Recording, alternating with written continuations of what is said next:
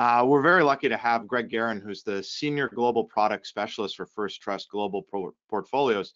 Uh, he's responsible for the support of First Trust's expansion into the UK and the European markets. Uh, Gregg is a graduate, as I mentioned, of the Booth School of Business, where he received an MBA from the University of Chicago with concentrations in finance, economics, and international business.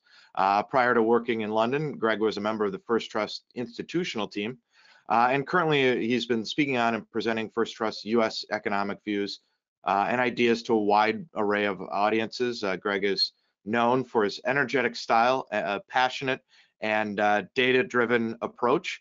Uh, so we really appreciate Gregg uh, joining us today. We also want to thank uh, Will Click, our, our local First Trust representative, for putting us in touch with Gregg.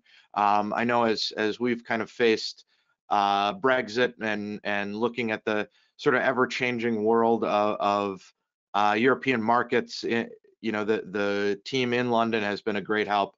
Um, so Gregg, really appreciate that and really looking forward to hearing what you have to say in your presentation today. And um, I think uh, Sil and I will will kind of drop off here for the presentation, and then we'll rejoin you at the end to to ask some questions and have a little bit of a conversation then. Absolutely. Well, thank you so much for having me. Um, just seeing that I can share my screen right now, just making sure I'm sharing the right screen though. So. Um, yeah, I, hey Keith, I really agree, um, but don't tell Brian that I that I agree that. Um, oh, we've got this one here. Can you just double checking you can see the screen?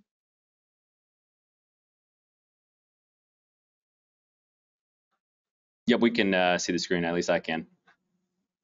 Uh, it says 20 macro outlook. Just double checking. Yep, I can see it. Excellent.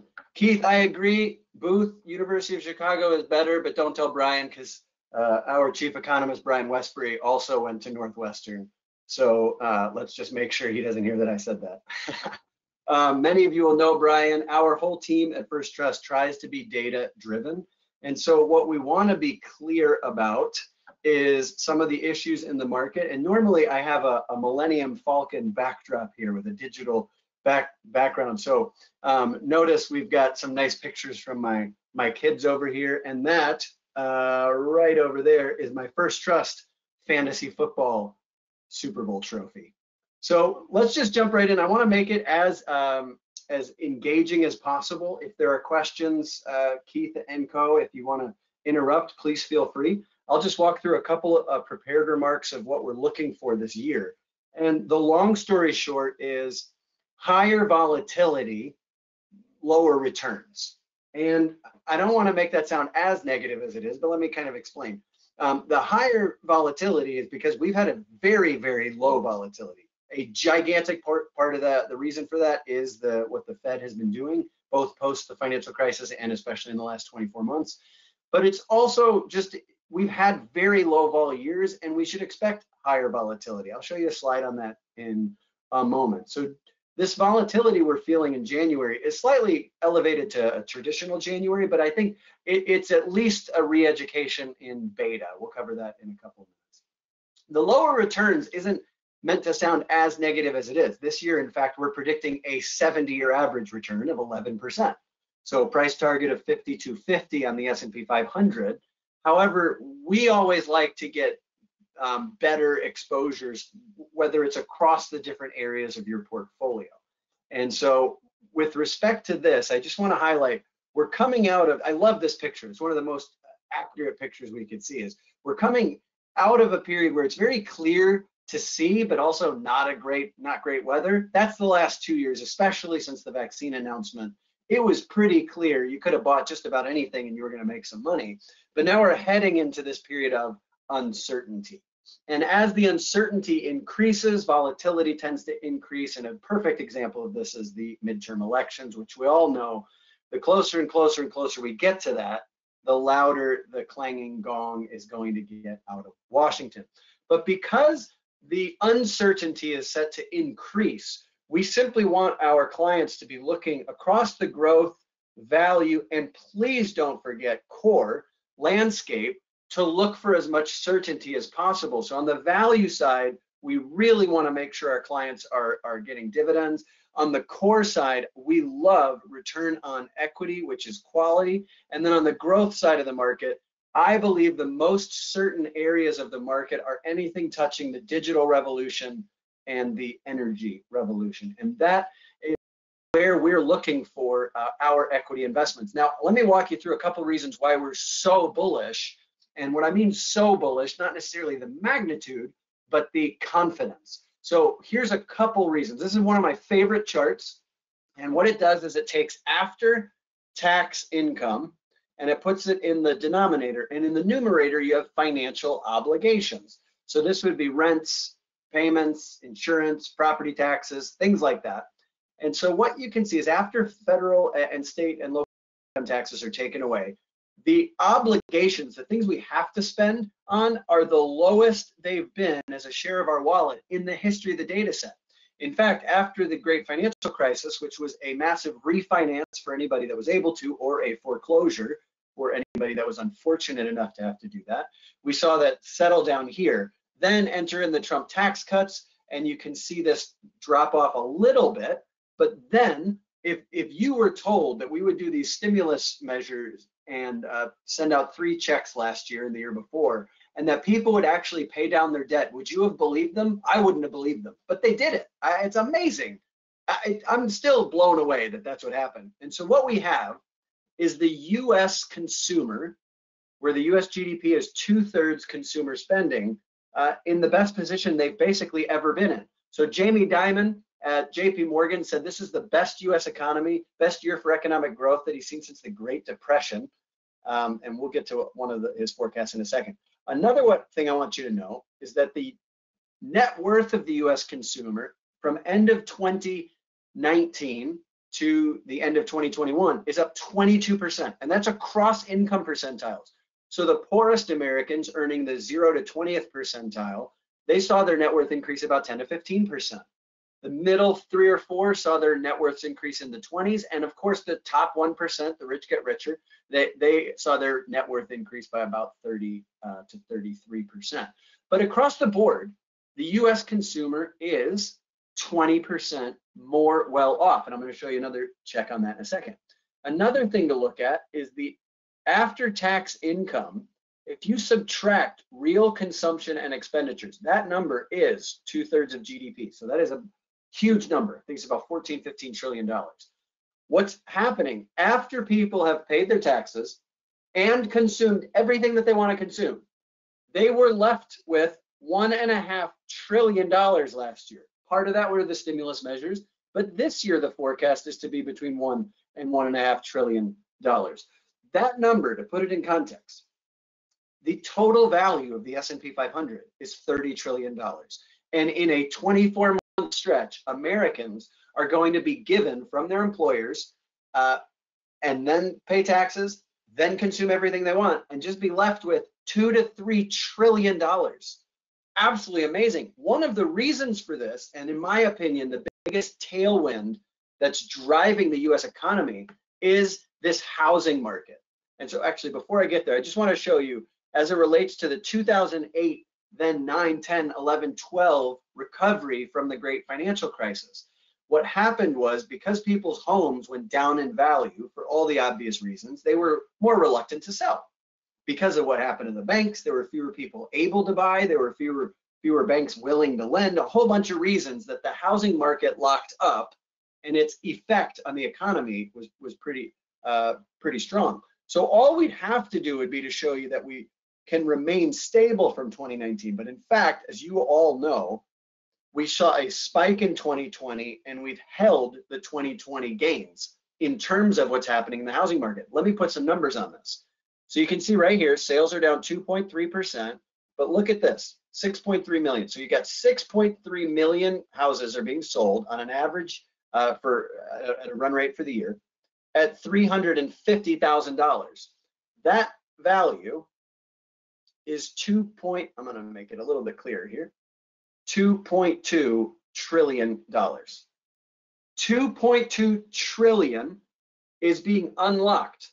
When somebody buys a house, Somebody else is selling a house. So that is liquid grease, if you will, in the US economy that is much more often an intangible asset. But 86% of homes are selling within a month. 22 or sorry, 2.2 trillion is just about 10% of GDP. This is a massively important number for the US economy. It is more important than the stock market in terms of the average consumer and what it means for their life. Now, you'll see this 350,000 at the end of 2019, it was 275,000. So if you just look at this, that's $75,000 is what anyone who bought a house in 2019 effectively has in their pocket, an extra 75,000 where if they sell that and then turn around and leverage that at the bank with a 20% down mortgage, you're talking about $375,000 of buying power that has been created on average just in the last 24 months. Now, if you want to argue a good chunk of this is from inflation, we're not going to stand in your way. We'll get to that in a moment. Um, but this is so important as to the net worth of the American consumer. And after everything we've said, we still have more money in money market mutual funds than we did at the peak of the great financial crisis. This chart is blows my mind. Now I want to be clear, the S&P was about 700 at that point and is about 4,700 today, but still, it's four trillion dollars. So you got another one and a half to two trillion just to normalize here. Then you add in in the next 12 months, we're expecting a trillion dollars of stock buybacks. The buy the dip mentality is real, but because of the rising interest rates, which we are going to talk about in about five minutes, people are a little bit more volatile, a little bit more worried about some of the tech part of the market. And so maybe instead of a three to 4% buying the dip, maybe people are gonna wait for a 5% pullback. And that, or, or maybe even a 10% pullback, just like his, historical standards, five to 10% um, correction, and that's a typical thing. That happens just about every year. Um, you can ask your team at, at Walkner Condon. There's an amazing chart that First Trust puts together, and I've seen it from so many other asset managers. It just shows calendar year returns and intra-year declines.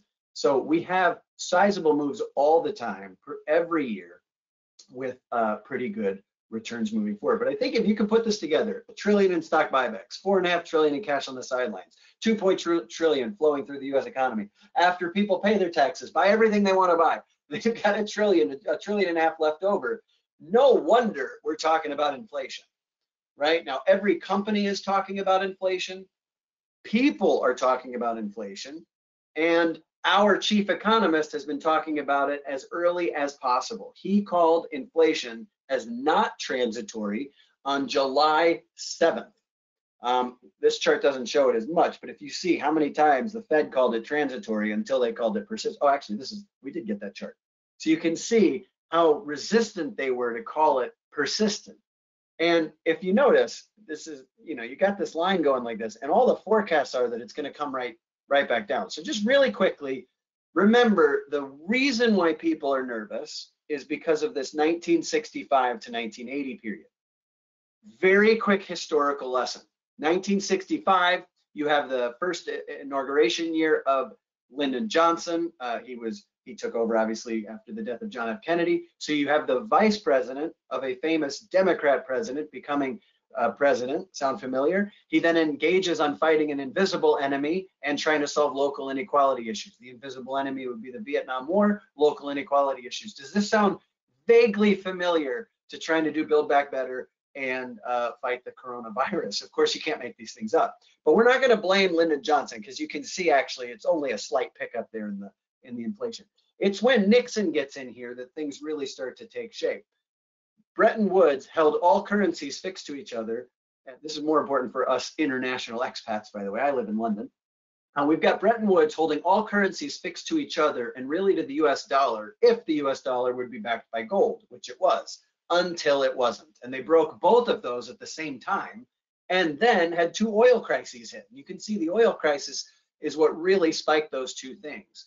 None of those are happening right now. I just saw a note today the Permian Basin's pumping about 5 million barrels a day. The US is up to 11 to 12 million barrels of oil a day and is effectively the marginal supplier of oil, all in a world where we are now able to create energy from fossil fuels, or sorry, from uh, clean uh, wind and solar cheaper than fossil fuels for the first time in history. So juries uh, out there on the uh, on the oil power in the market. However, Brian Wesbury says that it's a monetary phenomenon, quoting Milton Friedman. So what we did is we put Brian to the test. The average M2, which is money supply, the average growth of M2 during that 1965 to 1980 period was 8.7%. And then we slammed it on a chart for 60 years. It is clear as day. The 1970s were really the only period where we had a sustained period of time of money supply growth above that. So he's right. Right now, what I'm going to do here is I'm going to adjust this chart and I'm going to add in 2020 and 2021. And then we're going to take the orange line and make it be CPI, just lagged a little bit. So you can see what happens when you spike money supply growth and then uh, the spike in inflation. And it is very, very clear. You spike the money supply growth, you spike inflation, spike blue, you spike orange. Look at that chart. I mean, would you, even if we called it right here, if we just stuck the line and said, we think it'll be 7%, it doesn't even go to the magnitude of the chart and still would make us uh, the most inflation forecasting uh, uh, firm basically on, on the street. But it's not all bad news, right? It's not all bad news because earnings and earnings margins tend to move with inflation. And so you get the strength of the US consumer ready to buy things. That means they're able to, and, and ready to pay for things with higher prices. So Apple's been increasing their, their prices for quite a long time. Here's a question for you on this call. Netflix just increased their price. Did you cancel? I'm guessing you didn't. And now we're going to take this and move a little bit more to some specific areas uh, of the market. So what we've done here is we've plotted whose margins are expected to be the highest, and then who plotted them against who's been able to grow them the most relative to where they were in 2019. I find it very interesting that the the companies that are in the biggest, the best part of this chart, semiconductor, software, tech, and media and entertainment, are the areas that are being hit the hardest right now. So I wouldn't be as negative on those particular areas of the market. That's why we're so bullish on the digitalization uh, theme. And that's why we, we've got multiple ideas and ways to play the digital theme, some that have high growth and high valuations, like say a cloud computing, um, or cybersecurity, or some areas of the market that are less uh, less growthy, but much less valuation. So the 5G and and um, next G idea that we have is a, a 19p, and so those are some of the areas where you can look. 5G in this marketplace is going to get some of the most certain revenue profiles from the year. The telcos get about a trillion dollars a year worldwide, and they are going to be spending a ton of money last year, this year, next year, and the year after as they build out their 5G capabilities. So we'll cover that in a minute. Back to inflation. When interest uh, inflation is running above average, where should you be looking? It's pretty clear from the data. Go smaller, go more value, and then historically energy. But I'm going to skip that for a minute and just circle your attention right here. Financials are obvious. Uh, I lend long 30 year mortgage and I borrow short, right? CDs and deposit accounts. When remember when they used to pay pay interest? So as the interest rate curves or the longer term interest rates move up, banks are able to make more money. And that's why financials is a, a effectively a no brainer as this is happening. Then when you look to business equipment, over the last hundred years, what, what would you say business equipment would look like moving forward? And that's where we're seeing, in our opinion, a lot of these digital ideas, cloud-based, uh, cloud-hosted web services, databases, things like that. And of course, everything that goes into the cloud has to be secured. That's one of the reasons why, even in spite of inflation, we're bullish on that. Now, energy, I said it just a moment ago, we're, it's not what it used to be. So 2014, 15, 16 really showed that when the US manages to affect the supply of the world, it really distorts these dynamics. Then you get to 2020 and wind and solar are now producing energy cheaper than fossil fuels. Jury's out. So I wouldn't just uh, close your eyes and buy some energy stocks without recognizing that the volatility might be a little, or the certainty uh, confidence interval, if you will, is going to be a little bit less certain than say this chart would predict. So I hope that's clear. I, I like the top five, six things here. Healthcare is pretty much always a good opportunity um, for a bunch of reasons. Now, the interest rates that is the last part I'm going to get into before I turn it back over to you guys. so that we can really dig into any questions you have um, across the board. I found this to be really interesting. So this is the second to last Fed funds hike, and it was after the 2000 tech bubble had cratered. And really more interesting to me is that it's an area where you had internet companies. So we're going to look at some of those um, like you have today, and then this one as well.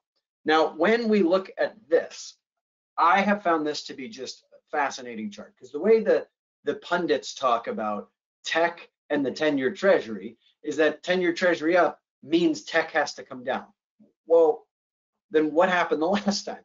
So you see right there, that line is the 10-year treasury yield. And it went up about 75% in about a 90-day period. You'll see none of these stocks are negative. At the end of this chart, the 10-year treasury yield more than doubled. Other things that more than doubled, Microsoft, Apple, and Amazon. The one that did the best is the most indebted growth stock anybody talks about and especially criticizes, which is Netflix.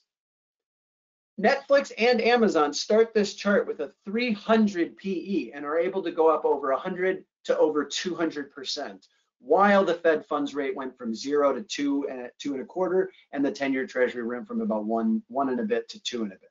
So this chart makes me not that nervous right now, and effectively um, nothing like this interest rate liftoff. Now this is giving you a much more traditional uh, response. So this is what everybody's expecting, and I wanted to give two sides of this.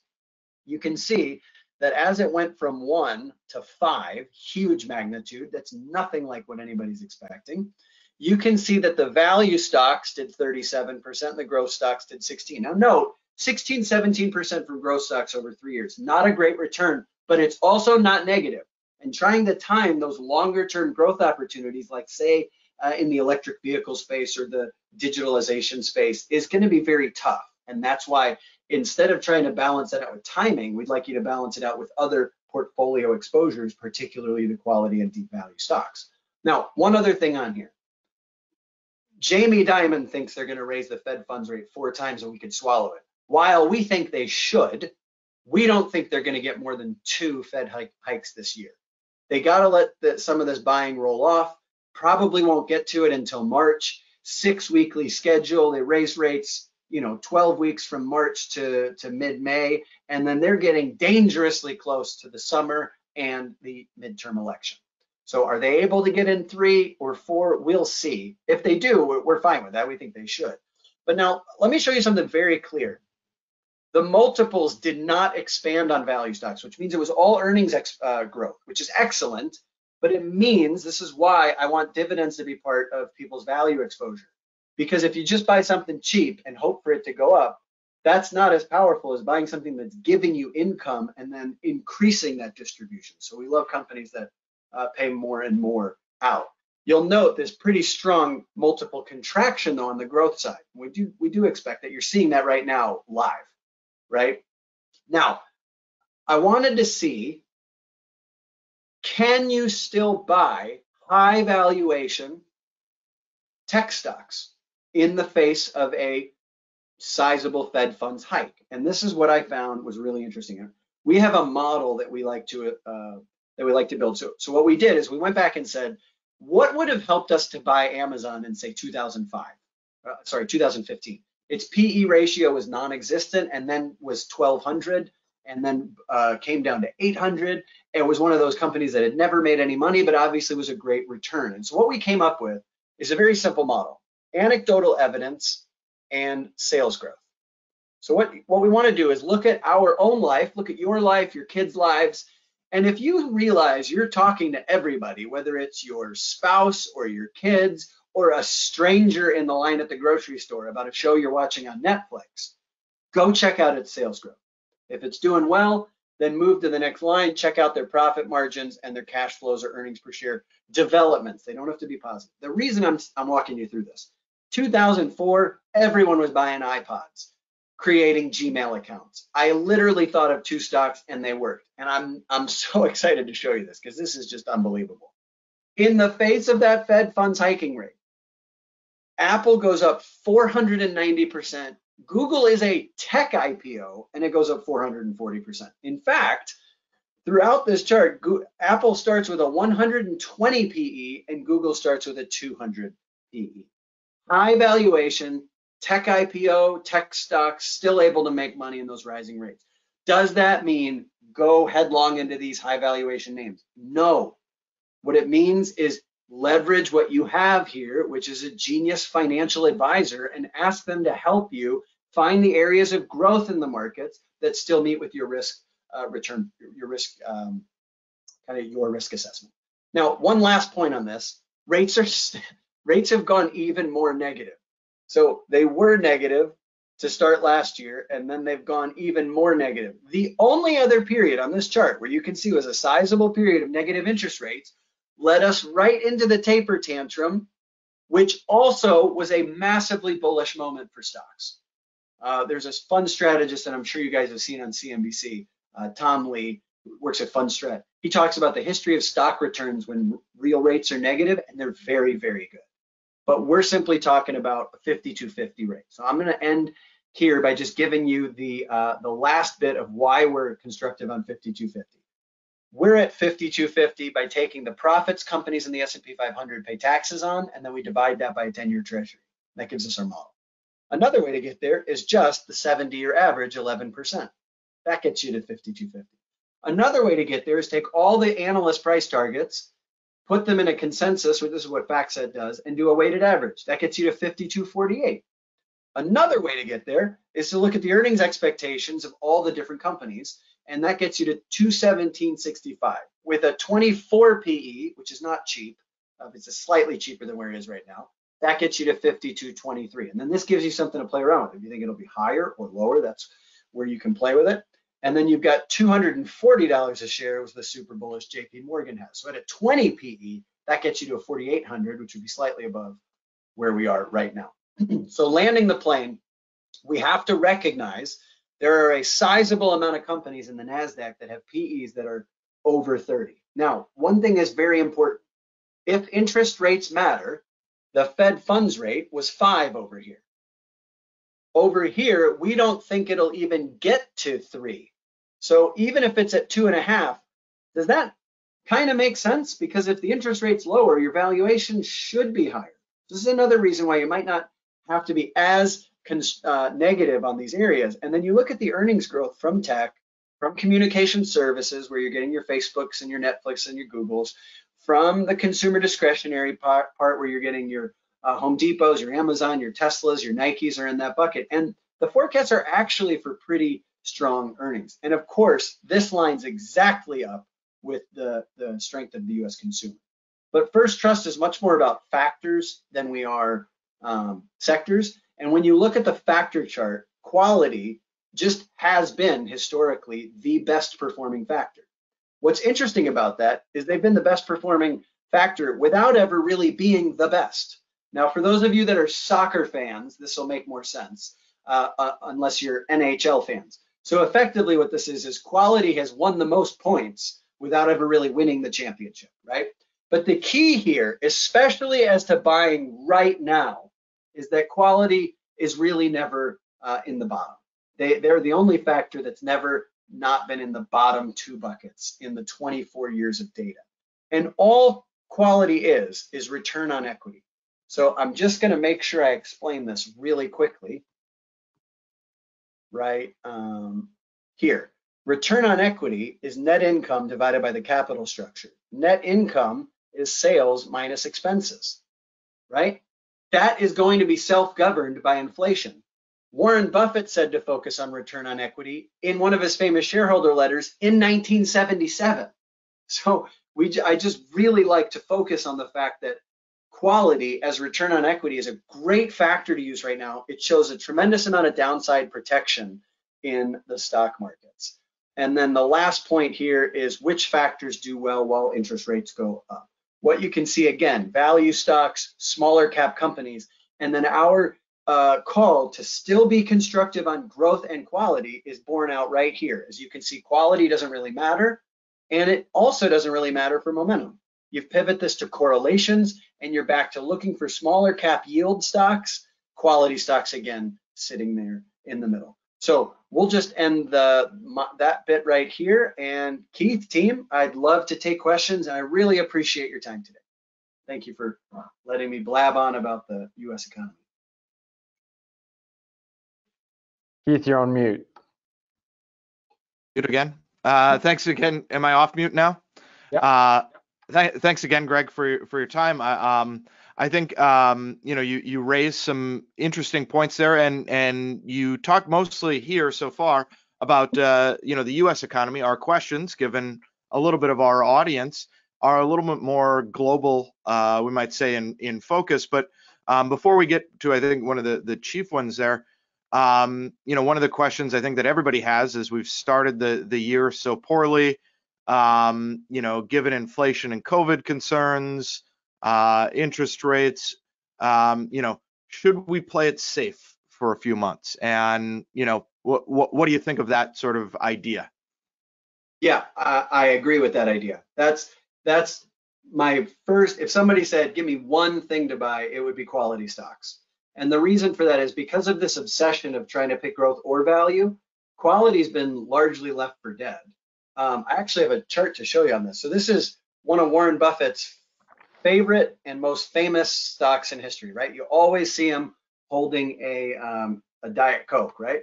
And what I've done here is I've plotted the the PE ratio of Coke relative to the PE ratio of the S&P 500. So if it's above the line, it's more expensive.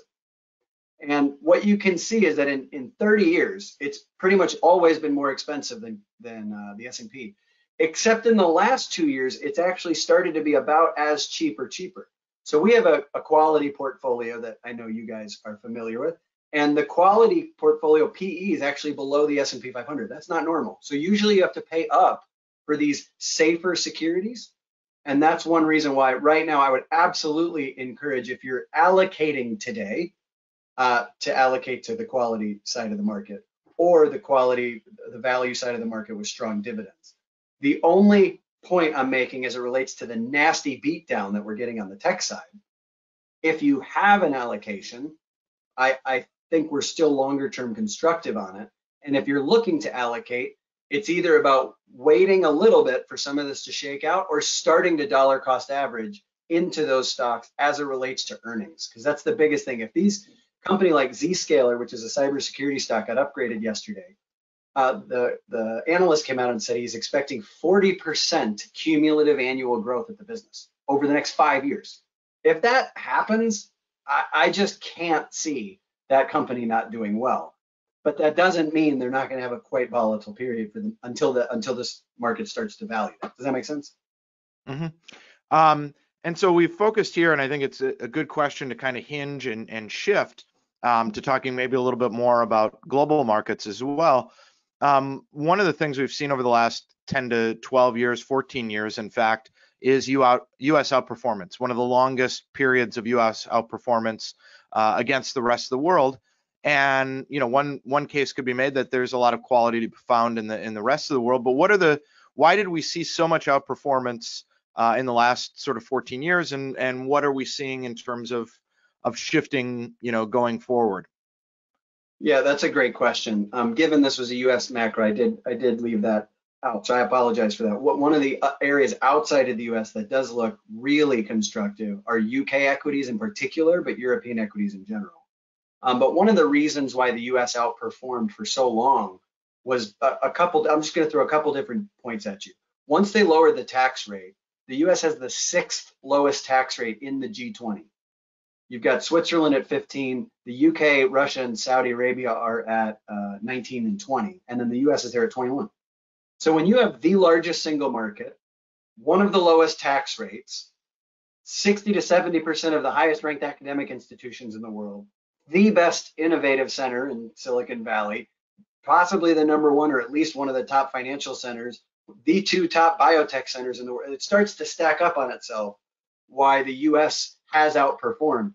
And as you're kind of hearing, none of those are really going away right now, especially with uh, the Democrats locked in an internal struggle here. So it doesn't look like they're going to end those tax rates anytime soon.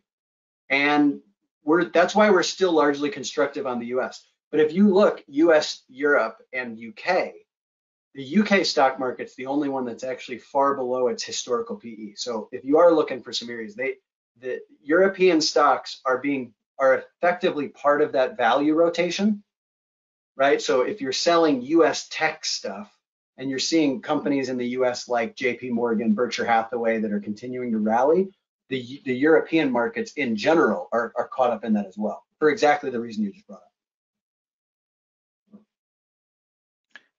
up. Um, anything uh, as well sort of related to that um, you know one of the reasons as well is that uh, sort of over the last 14 years as well the dollar has generally been stronger than than the rest of the world. And so in local currency terms many times returns have been better. Um, but it's also something you know related to your point about housing as well that some of our clients are are thinking about as well if they're moving to the you know UK or Europe uh, how will the the strength of the dollar, you know, affect their ability to buy a house there or that sort of thing? And I guess, uh, you know, from a, a bigger picture, anything beyond, you know, explain maybe why interest rates are going to be so crucial for that discussion, but anything else that that folks should pay attention to beyond um, interest rates, maybe. Yeah, absolutely. Let me go to Brian's uh, slide here because one of the points that he's making, and he gets that question every time he comes over here uh, so if we're looking here, we can use this one. There, there's two ways to look at it. Obviously, the context of the of the presentation that we're talking about is inflation, right? So inflation is making a currency worth less, but it's always on a relative basket, right? So we saw we saw five percent inflation out of the eurozone and five percent inflation here in the UK. That's not that's not even close to the case. Yesterday, the German Bund went positive.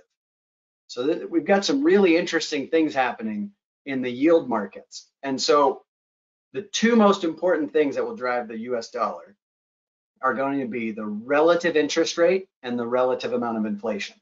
It looks like, because of a whole bunch of reasons, the US ran the, the printing presses a lot faster.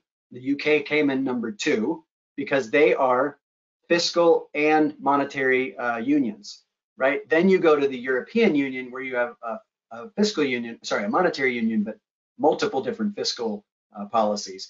And so that just make, made that a little bit more of a, a laggard in that bucket. So at the moment, in the next couple of years, we probably would see the inflation on the dollar lower, but because of that, you're going to get paid to own the dollar more, which will effectively make the whole conversation move.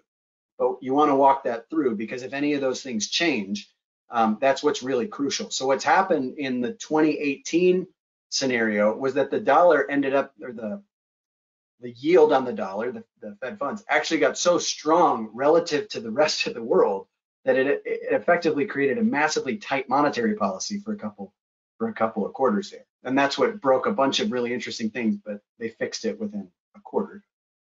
so all to say, watch whatever country you're living in, because it sounds like you guys have clients all over the world. Watch the yield on your country and the yield on the 10 year, and then the relative inflation print from the most recent month will probably be the best indication of what to expect for the next year.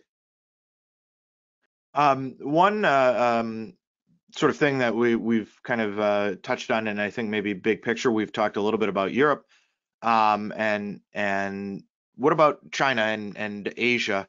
Um, you know, and also, you know, uh, some of our questions as well relate to, um, you know, Chinese markets going forward, Asian markets going forward, but also the tech sector specifically. If we're seeing, you know, you know what we're seeing in the U.S., we're raising, uh, rising interest rates. You know, will still, you know, will maybe dampen growth a little bit, but we should still see growth. Are similar things at play in Asia as well?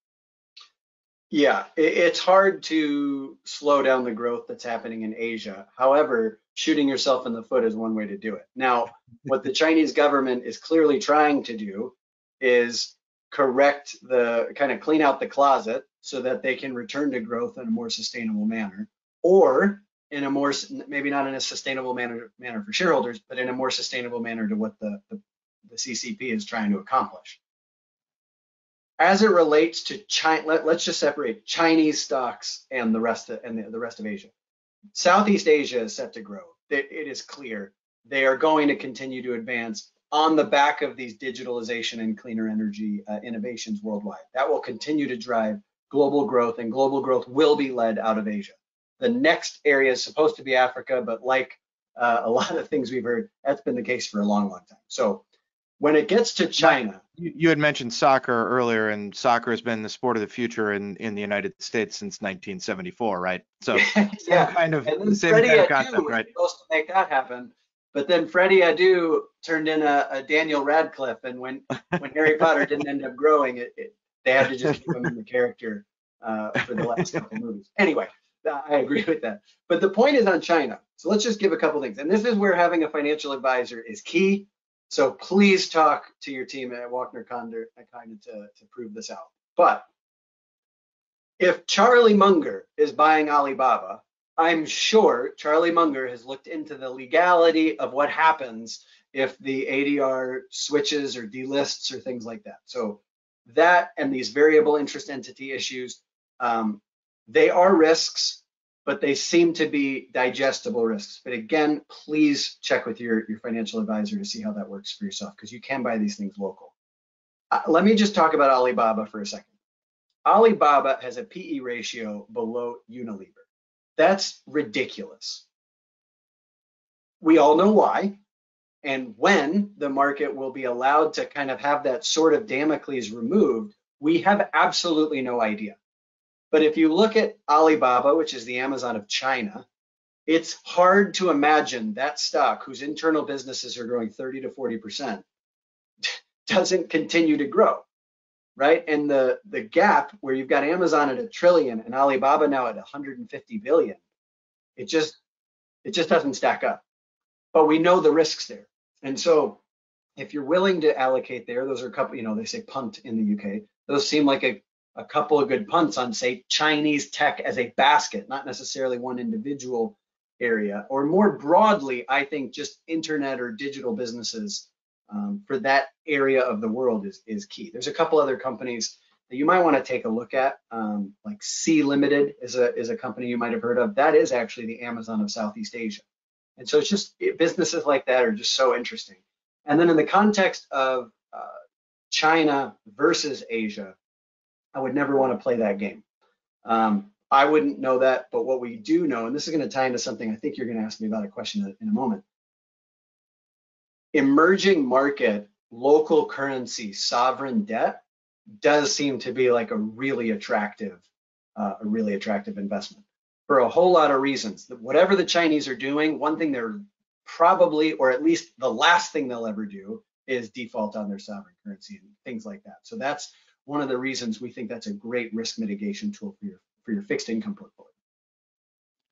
Yeah, and well, that in fact, question that we have is what what are you seeing in the international bond markets, right? We, we you just mentioned that the Bund has has gone positive, which hasn't been the case for quite a while. Uh, you know, emerging markets, uh, that sort of thing. You know, the currency question comes up a little bit more if you're, you know, abroad as well. And you know, one way that you can get currency exposure is by uh, you know, moving out of just U.S. Treasuries. So what what are you, what's your read on on the international bond markets, you know, kind of going forward? Yeah, I th- I think I'm much more constructive on non-traditional fixed income than traditional, and it's just because the yields are so low. So even even U.S. high yield right now is at is four percent nominal, so negative three percent yield. It's it's worse when you get when you get into Europe. Um, so that's why I think if that's going to go back to your kind of your client base. And again, why you need a financial advisor. So if you're in Europe and you have euro denominated retirement needs, there might be a bigger reason for that. But if you're just simply allocating for growth with a with a global portfolio in mind, um, I, I I just see European sovereign local currency as such a strong item here. And again, sovereign bonds, not corporate bonds, sovereign bonds in local currency. The default rate should be very low, especially if you go with a manager that you know buys investment grade. Because the yields on that are about five, let me just show you how I think about this world. If I'm getting a two and a half percent yield on investment grade bonds or a one percent yield on German five-year treasuries, then I can set, let's just say, uh, make the math easy. Let's say I'm getting two and a half on a 10 year treasury. I can sell that, put half of my allocation in cash and put half of my allocation in that emerging market local debt piece, and the yield to me is the same. But my my value at risk has dropped in half, and my ability to allocate to bonds at a higher rate due to rising interest rates is just gone up. So that's why I like again like uh, emerging market sovereign debt pretty much alone. I also like preferreds um, because I think of the same thing. They give you a higher yield, about five, 6%. A lot of them have interesting structures, variable rate, fixed to float, and they're backed by largely financials who's, as we've covered earlier, their credit gets stronger with rising interest rates, which makes them a very different part of the fixed income market. Still any questions that you want to jump in with there? I think we got to almost all the questions from the audience. We also had a question. I know, Gregg, you touched on clean energy as one of the themes that you, you've been looking into. Uh, we did get a question on climate change and the extent to which uh, it represents a, uh, a, geopolitical risk and also a, a, risk to investors and you know uh, maybe how that impacts your investment thinking a little bit and some of the themes that you're seeing in that space. We'd, we'd love to hear your comments on that.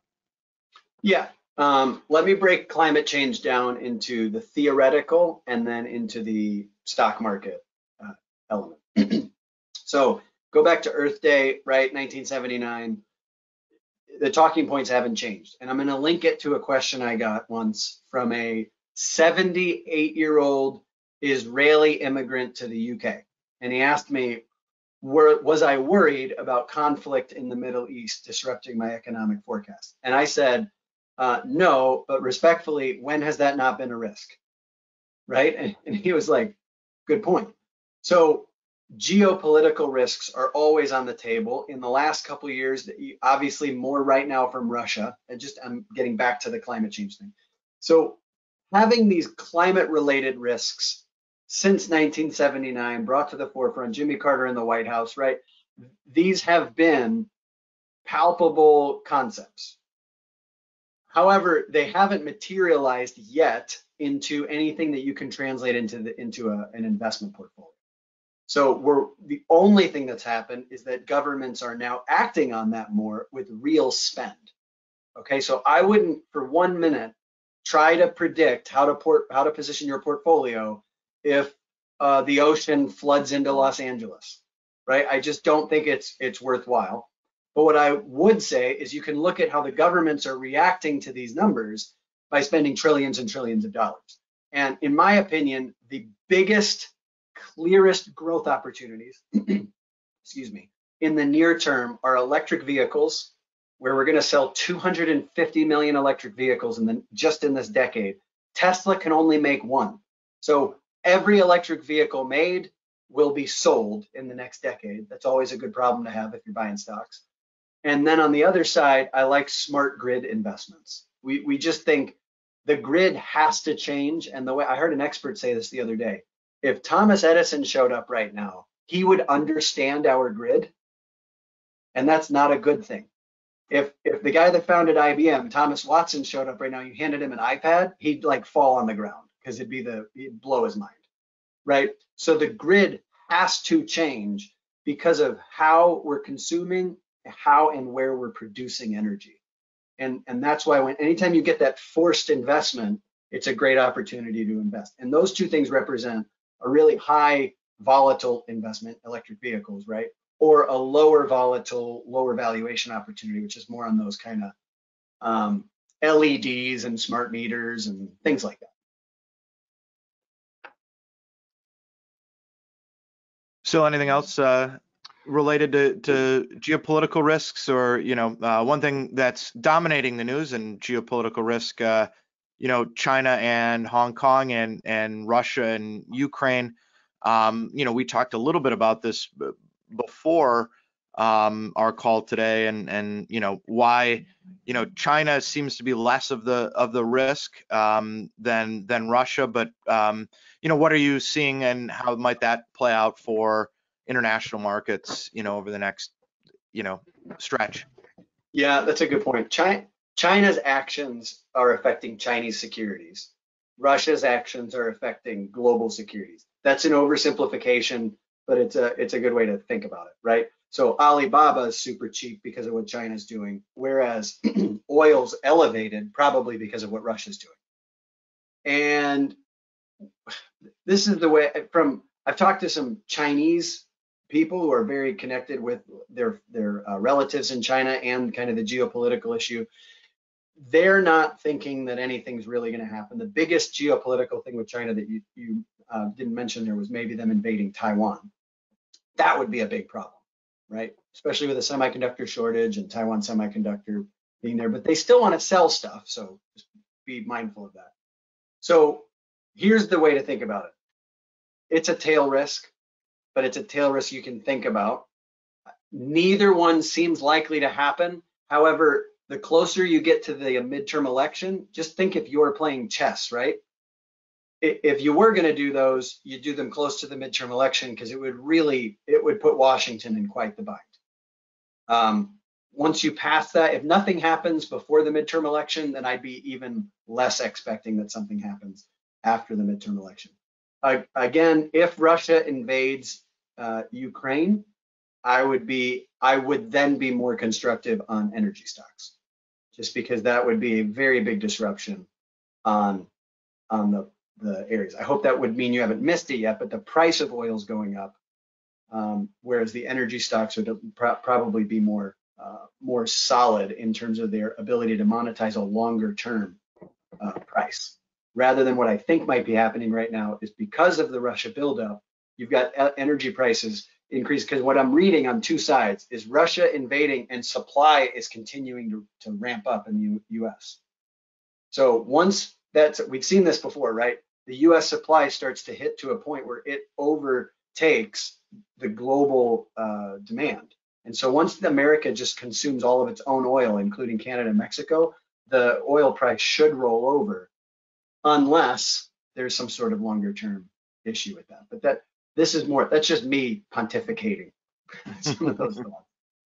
Well, we should probably uh, wrap things up there, uh, uh, Gregg, because I know you have another uh, call here uh, shortly coming up. So appreciate your time this morning. Appreciate Will for for putting it together, and and Dan uh, Corcoran as well for the technological help for all of us.